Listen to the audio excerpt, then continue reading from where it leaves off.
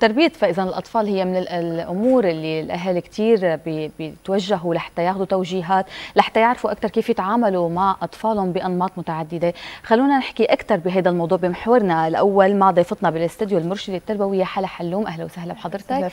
يسعد صباحك. صباحكم يا رب. صباح الخير. أهلا وسهلا بحضرتك.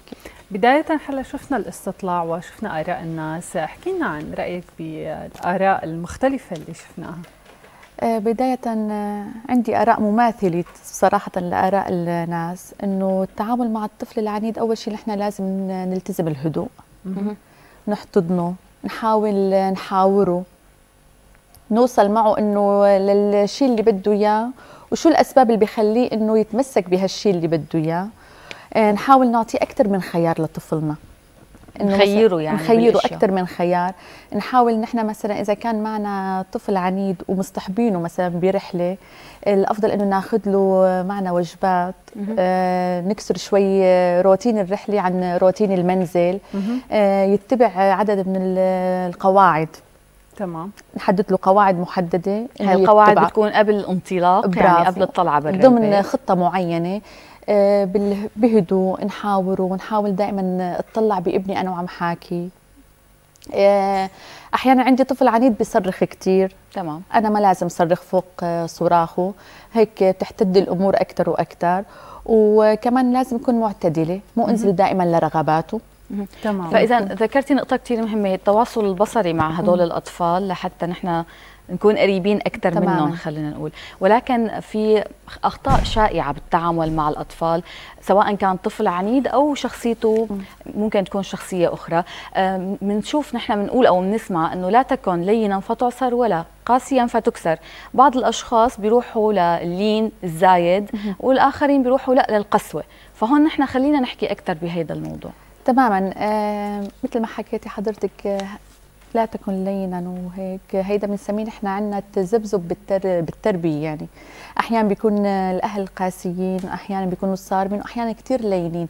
فالطفل هون بيكون محور العملية التربوية اللي حددها الأهل يعني. ورغم هيك بيكون بحيره بأمره. إنه أنا ما عاد أعرف شو بدي أعمل. إذا عملت هيك بده يكون أبوي قاسي أو إذا عملت هيك بده يكون لين الأهل يعني. فلا لازم نحن نكون محافظين على مستوى معين بعدة أمور. مثلا لينين بمواضيع محددة وصارمين بمواضيع محددة بس نحن نفهمه هي لطفلنا حتى ما يوقع بحيرة. يعني نبتعد قدر الإمكان عن التذبذب بالمعاملة مع اطفالنا تمام. هون عم نحكي عن الأشخاص اللي ممكن يواجهوا خلينا نقول طريقتين التربيه المزاجية آه بالتربية. تماما مزاجية بالتربية. ولكن يعني كمان إنه في آه أهالي ممكن تشوفيهم إنه أي كلمة ممكن يحكوها أولادهم مباشرة هن يسووا بالمقابل آه في أهالي إنه على كل شيء لا. فهون كمان الصرامه والدم تمام مثل ما حكينا هلأ إنه نحن لازم نعرف نكون مع أطفالنا بكل شيء بدهم إياه. هيدا ما شيء يعني سهل أو خلينا نقول جيد. تماما. آه، أول شغلة كلمة لا نحن لازم نعرف ايمتى لازم نحددها. حتى ما يكون لها أثر سلبي عند أطفالنا إنه الكلمة لا آه، تكون لها وجهين يعني. إنه مو لا يعني صارمة لا في أحيانا لا كثير لصالح أطفالنا. نحن لازم نفهمه لطفلنا إنه أحيانا لا لتكون خير لإلك يعني بالحوار. ودائما لما بوضع قيود لابني هلأ كثير أهالي بيفكروا إنه أنا آه، لما بخلي ابني يعمل اللي بده إياه أنا بكون هذا الشيء لصالحه. دلال. تدليل الزائد أو إنه ننزل لرغباتهم واي شيء بدهم إياه إنه هو الصح وهو اللي لازم يصير. هون بيفكروا إنه أهل الأهل إنه ابنهم مبسوط. بصراحة الابن ما بينبسط بالحرية المستباحة بشكل مطلق يعني. أه. في أطفال كثير بيحبوا القواعد بيحبوا الحدود إنه بيعرفوا يشتغلوا. حتى. تماما بصير عندهم نظام لحياتهم بصير هن بيعرفوا شو لازم يشتغلوا مع اهاليهم أما لما بدي أعطي لابني كل شيء كمان طفلنا هون بيكون مانو بحالة فرح عارمي يعني بيكون بحالة حيرة. إنه أنا مثلا كل شيء بدي إياه بدي أعمله تمام معناتها ما في حدود آه، حتى إنه ما بيكون هو مبسوط بينه وبين حاله. أحيانا الإنجازات تعبر آه، اللي بيعبر عنها الطفل بتكون نتيجة حياة منظمة روتين منظم. فنحن لازم نكون معتدلين بين كلمة لا وبين كلمة إيه. يعني مع أطفالنا. طيب. أيضا من الأخطاء الشائعة اللي ممكن الأهل بيوقعوا فيها هي التفريق بين الأطفال أو حتى بين الإخوات يعني. هيدا بيعمل أيضا أثر سلبي على الطفل. من أسوأ الأساليب التربوية والأخطاء الفادحة اللي بيوقع فيها الأهل هي التفريق. أول شغلة إنه كثير بتعمل حالة نفسية عند أطفالنا بيكون لها أثر نفسي يعني سواء من قلق من إحباط من توتر غيرة حقد بين الأخوة. بين الأخوة. أحيانا بيتمنوا أنه بيصير عندهم تصورات ذهنية خاطئة أطفالنا تجاه أخواتهم. وأحيانا الأخ مثلا أنا فضلت ابن عن على ابن آه، أحيانا الأخ بيشعر بتأنيب الضمير إنه أنا والله ما إلي علاقة أنا أهلي خلوني أنا مثلا أعمل شغلة كذا أنا ما دخلني. إنه أنا ما بتمنى أكون بشيل المسؤولية عن حاله تماما يعني. وبيشعر بتأنيب الضمير. هون بيعملوا شرخ بالعلاقة بين الأخوة. إنه لا قدر الإمكان الاعتدال آه، دائما ننزل آه، إنه نحط بعين الاعتبار إنه في فروق فردية. في تفاوت بالقدرات بالمهارات إنه نحن لازم نحاول إنه نحطها بعين الاعتبار بين أطفالنا حتى ما نميز طفل عن طفل إنه ليك أخوك أشطر منك أو ليك أخوك سمع الكلمة أو ليك أختك أختك أشطر منك بش لا هالمقارنة كثير بتعمل أثر سلبي آه، بنفوس أطفالنا بصير عندنا الصحة النفسية عند طفلنا غير متوازنة. تمام بصير عندهم كره أحيانا للأب أو الأم. تماما هون يمكن الأهالي بقصد أو بغير قصد يعني عم بيكونوا آه، سلبيين نوعا ما تجاه هذا الطفل. ولكن يعني كمان أحيانا المقارنة أو الغيرة الإيجابية لها دور. فكيف نحن ممكن نفعل هذا الموضوع من دون ما نوصل له لهذا الطفل إنه أخوك أحسن منك أو آه، مثلا أنت أقل منك تماما. لما أنا بزرع عنده الدافعية أول شغلة بعزز ثقة طفلي بنفسه. آه، مثلا إذا ابني أخذ درجة متدنية عن درجات أخوه آه، ما في داعي له ليك أخوك أشطر منك؟ هون خلص. صار عندنا حالة نفسية متدنية. لا أنا بقول إنه أنا واثقة فيك وأنا بعرف بالمرة الجاي إنه رح تكون أنت أفضل. ومثلك مثل أخوك بس يمكن أنت مريت بظروف أخوك ما مر فيها.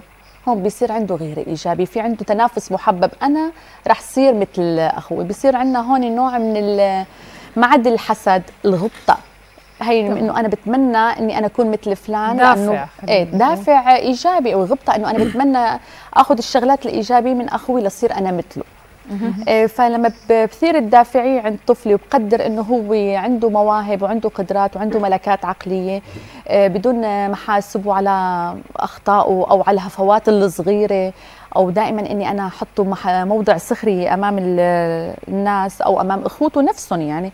فهون تتعزز ثقته بحاول إنه دائما يقدم أفضل ما عنده. تمام تمام. هون مبدأ المكافأة والعقاب يعني دائما الطفل اللي بيكون متميز أو شاطر خلينا نقول دائما بيكون له مكافآت معينة.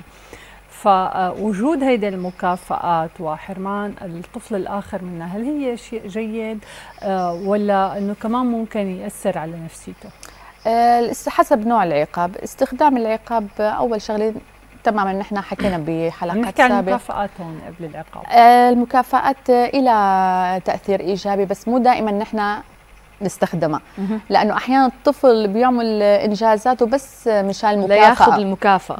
مو منشان إنه مسيرته الحياتية إنه بالمستقبل شو لازم يصير. لا أنا خلص هلأ رح أعمل إنجازاتي لأني أنا عندي مكافأة.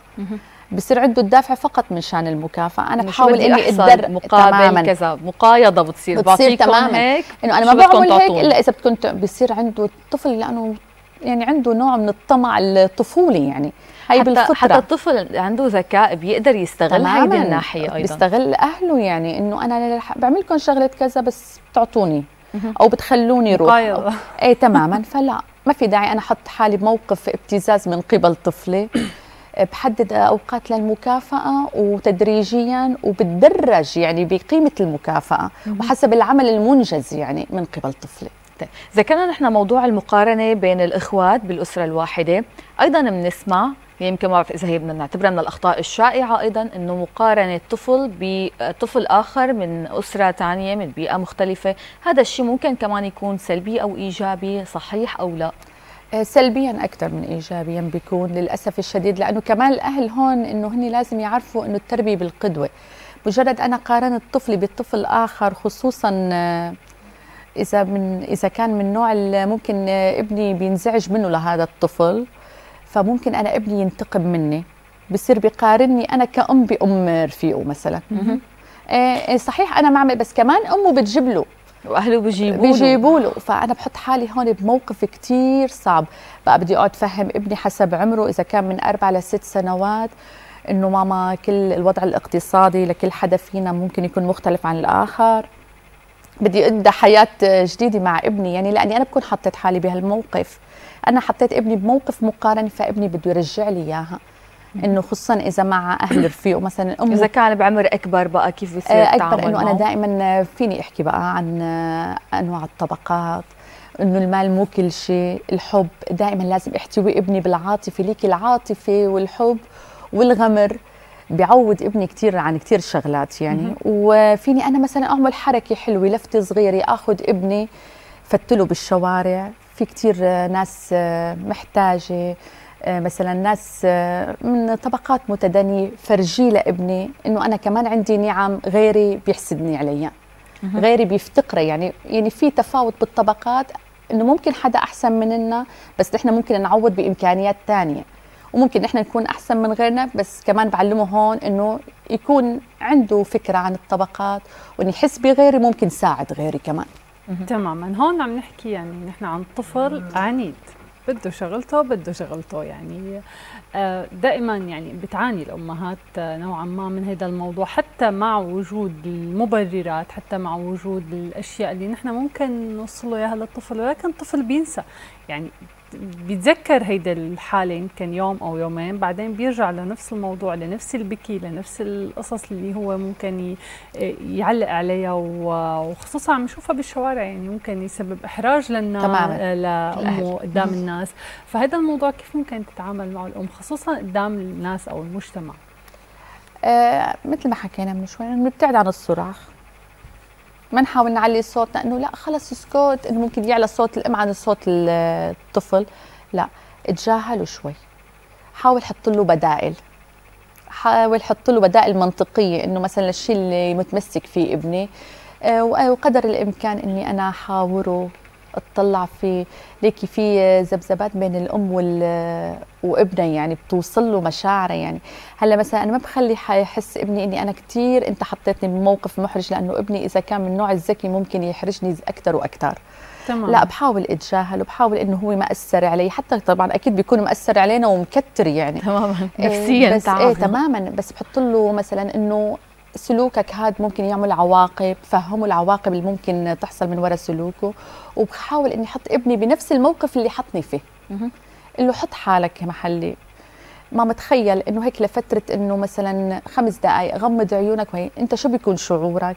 بحاول حسسه بهيك شوي إنه بالرفق اتجاهي أنا يعني بالحنية بحاول إني أنا أستأثر عواطفه. تماما. ممكن تمام. نحصل على نتيجة بهيدي الحالة. في نقطة كمان كتير بنشوفها هي الطفل الصغير أصغر ولد بالعائلة بين إخواته. فهون بقى بتصير دلال الزائد. تدليل الزائد. في هون إنه هو مميز عن إخواته. فكيف هيدا الموضوع؟ نحن بنوصل لأخته الثانيين إنه هو الصغير. أو ما بعرف يعني كيف طريقة التعامل ممكن تكون مع هيدا الطفل؟ مع آه أخوته أيضا. اي أنا برأيي إنه كمان نعتدل الحماية الزائدة لأطفالنا وخصوصا إذا الأصغر والتدليل الزائد. بيقولوا له آخر العنقود هو المدلل آخذ حصة الكل. إيه إنه بياخذ حصة الكل. فإنه نحن هون بصير عندهم نقم الاخوين الأكبر وبصيروا بيعملوا عصابة عليه وبيتفقوا أه. عليه و آه، وهون بيصير الطفل الصغير بيزيدها ممكن يجاكر وممكن لا نحن هون بنحاول نحن نكون معتدلين.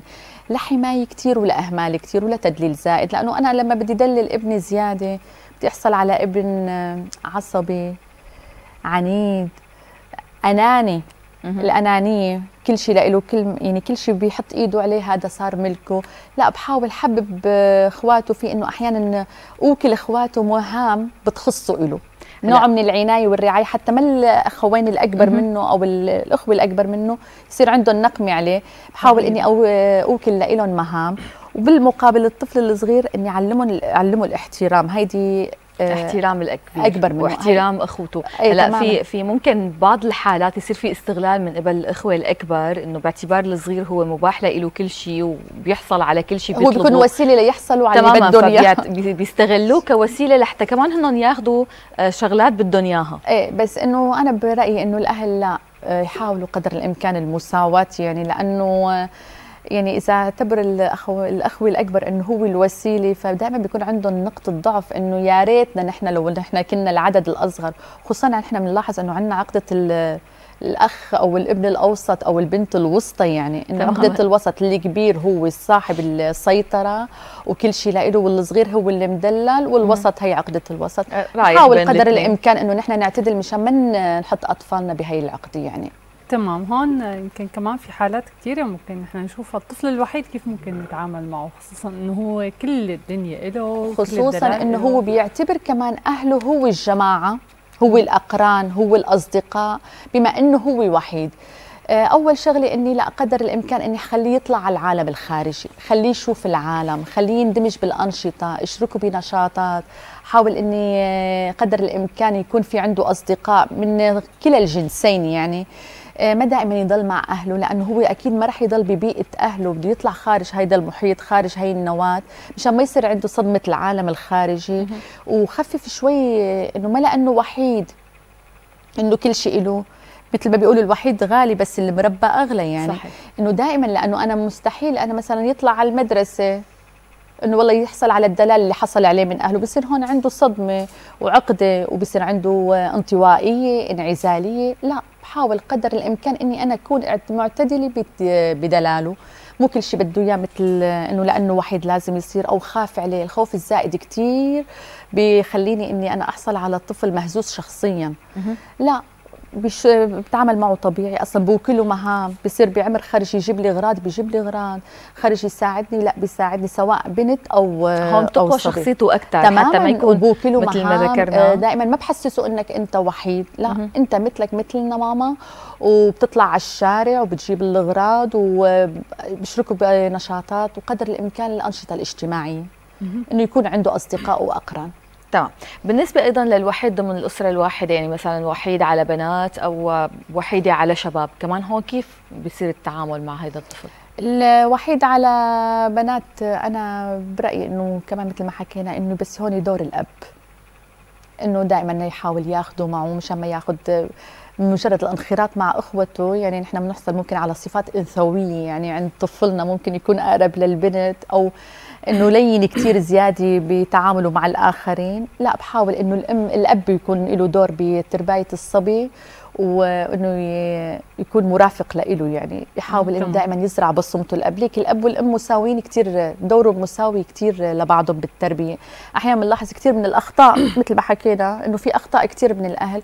ومن إحدى الأخطاء إنه لما بوك المهام التربايه لواحد من الأهل الأب حدا فقط مسؤول أو الام المسؤول لا هون غلط. خصوصا الأم مثلا بالمقابل الأم تكون كثير قريبة من بنتها. لأنه البنت هي بتحس حالها ملكه نفسها أميرة البيت أميرة أبوها مدللة أبوها.